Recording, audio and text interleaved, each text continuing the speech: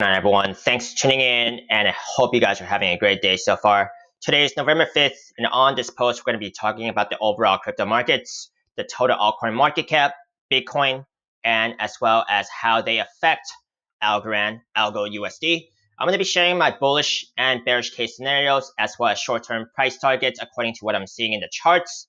Before we begin today, if you guys are watching me on TradingView, do follow me if you guys are watching this on YouTube, do subscribe as I'll be keeping you updated on the latest crypto setups on my watch list, regardless if it's a good day or a bad day. Please do also read my disclaimer below as I'm not a financial advisor and this is not financial advice. I cannot tell the future. If you're simply looking for someone to tell you the future, I am not your guy and you should probably skip this video. I'm purely sharing my own speculations and opinions, so you should always do your own due diligence before trading or investing. Now, if you guys don't already have a Webull brokerage account and want to support me, I do have a referral link down in the video description section below. They're still giving away three free stocks upon a successful sign up and a qualifying deposit of 100 US dollars. And I will also receive bonus stocks upon your successful sign up. So I truly appreciate that. Now, if you guys do have any questions or comments, please only leave them in the comment section below. I will not get to all the messages in my inbox. Let me know what you guys are trading, what symbols you guys are following. I can see if I can share my opinions and analysis on those symbols. Now let's begin and take a look at what exactly the overall markets are doing.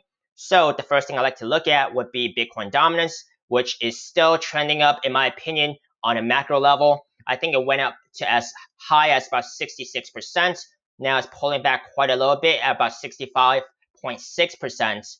Okay, but I think on the macro level, we are still going to trend up for Bitcoin dominance. So what that means is I think Bitcoin is actually going to be making most of the moves here, while in the best case scenario, that altcoins are going to be trailing that move uh, in aggregate, okay, as a total altcoin market cap.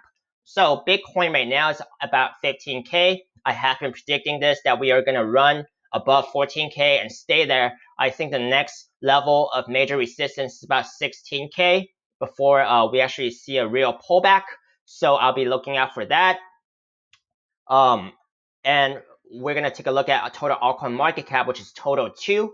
Total 2 right now is about 146 uh, right now. We are still currently, uh, we have made gains uh, today, and we're up about 2.2%, and we are still above that magical level I'm talking about, which is the weekly 21 simple moving average, which is how I measure if we're still on a uptrend or not. You guys let me know what you think. But as long as I uh, we are still on top of that weekly 21 simple moving average um, and do not close below it, I am still uh, um, optimistic about that market, cautiously, of course. So now let's take a look at Algorand itself. On Algorand, what is happening uh, since the last time we have talked about this uh, on my last post. We are currently about uh, 0.245 uh, as price, and we have gone as low as about 0.2215 as seen on this chart right here on this last red candle and have been supported um, by um, just the support levels down there as I have talked about because um, from the past trading history as uh, in this area right here on the three day charts Okay, we had seen quite a bit of price action that had been going on around there uh, just earlier this year. So previous resistance now is support. So um, this was not unexpected at all. So if so currently my bullish case scenario for Algorand is that we do actually have to come up and get a triple top right here. That would be very good confirmation for me uh, in terms of probability that we are going to actually reverse this trend um, starting from there. But uh, we have, if we actually take a look at some of the lower time frames, such as the four hour, we can see that we have actually gone back on top of some of these, uh, well, one of these moving averages again, which is good because now that we have actually gone on top of these moving averages, uh, now that could actually be seen as support, okay? So we have gone on top of the 21 simple moving average on the uh, four hour charts on the six hour chart as well. So after we have gone on top of these moving averages, they could be seen as support. So if price action was to continue downwards, we do have to breach and break down these moving averages again. So that's how I see it. And then uh, the 12 hour 21 simple moving average, which is also the blue line right here on the 12 hour time frame, is immediately above us at about 0.257. The real moving average I've been talking about and uh, looking to get um, on top of to actually see as a first step towards the right direction would be the daily 21 simple moving average, which we had um, not been able to stay above of it uh, for long since we have actually had this downtrend since about um, late August. As you guys can see, the blue line right here, since we have broken down, we have uh, tried to get above it, got immediately rejected. Try to get above it again. We did a better job the second time, but still immediately got rejected right here. So staying above this blue line right here will be the first step to actually, uh, for me to actually perceive that this trend may be reversing. But if if we want to take it a step further, uh, we have not gone on top of the 50 simple moving average on the daily, which is the white line right here. So getting back on top of that will be further confirmation and will give me a higher confidence that this trend is reversing. But until then, uh, my opinion has not exactly changed.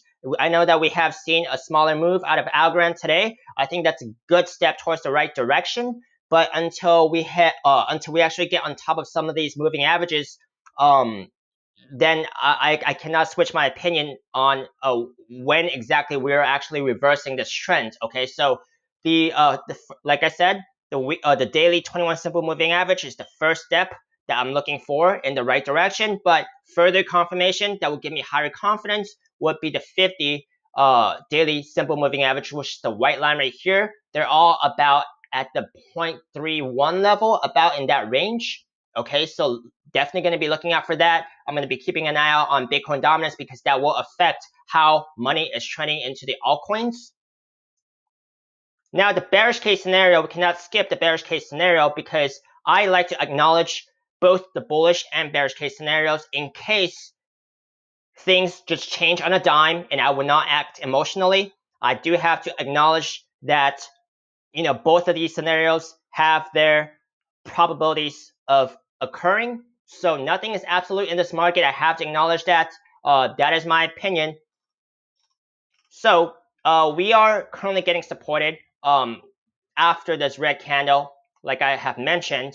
So about 0.225, that's uh, where the support was. Now the measured target from that double top uh, breakdown, uh, which is pretty much the measure target at about 0.9, 0.9 0.19, uh, 0.197, 0.195 range. Okay, so if the support does not hold, then unfortunately, I think the price action is going to continue down towards that measure target. But like I said, there's quite a bit of support right here from the past, um, from the earlier this year. So if 0.22, which was the last support that uh, we got a bounce from, uh, if that does not hold, so if that does not hold, we are gonna the next level of support I'm gonna be looking for would be about point about right about where this wick was and a lot of uh, wicks from the past trading history also was at about 0.21.